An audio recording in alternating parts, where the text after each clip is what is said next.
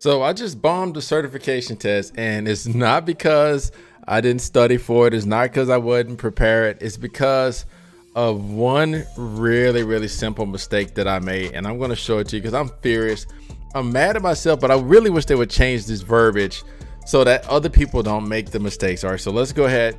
Let me show you what I'm looking at here. Okay, so this is the documentation. So when you go to take the, well, let's go back. Let me show you what you got to do. When you take the pfSense Fundamentals Practical Application, this is a firewall certification and it is a hard one. Okay, it is the real deal. So you're gonna go through it and you're gonna take the multiple choice exam. You gotta you gotta clear the multiple choice exam before you can do anything else.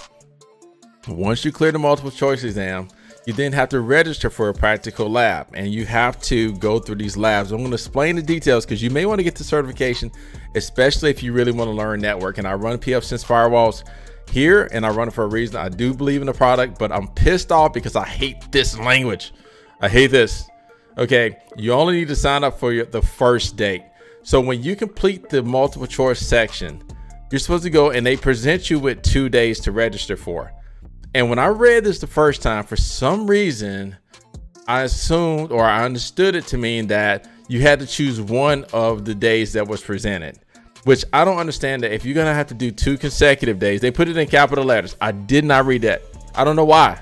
So today I'm at work and uh, I just say, well, you know what? Something I just had a feeling. I was like, man, maybe I need to pop in here, man. Like, just something seems weird that they would have two days. I would have to wait two or three months and they're gonna have two days, and I only have one day that I have to attend. So I popped in about one o'clock. Class started at nine o'clock, and it's supposed to go today, which is Wednesday, and then it's supposed to go Thursday.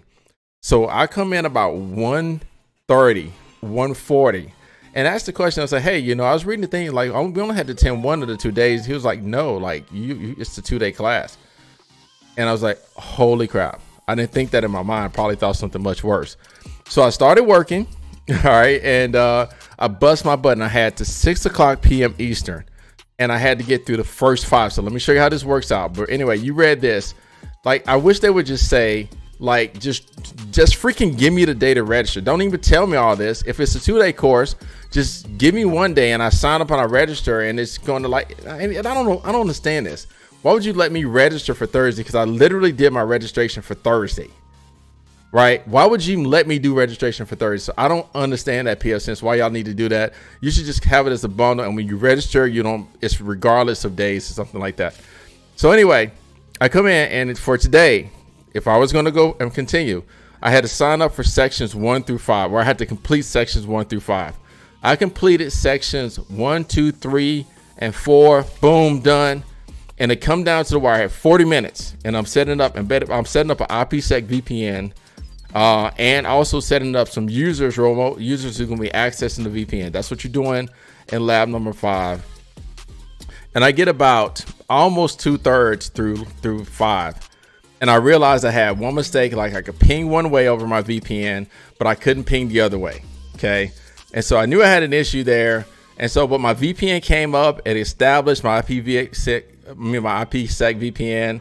Um, phase one, phase two, everything and established was working. I just couldn't ping one way. And so that was kind of the nail in the coffin because it's got to work. This is a pass fail lab. And so if I don't complete everything, I'm done. And so I was going down to wire and I just kind of kind of got to sit the sick feeling like this is in because what happened is that if I got through this portion, then tomorrow you got to go through six, seven, and nine, and then boom, congratulations, you get the certification. Now, I do recommend that everybody, if you can, take this certification. It's not very expensive. If you go to Netgate, um, let's go to netgate.com.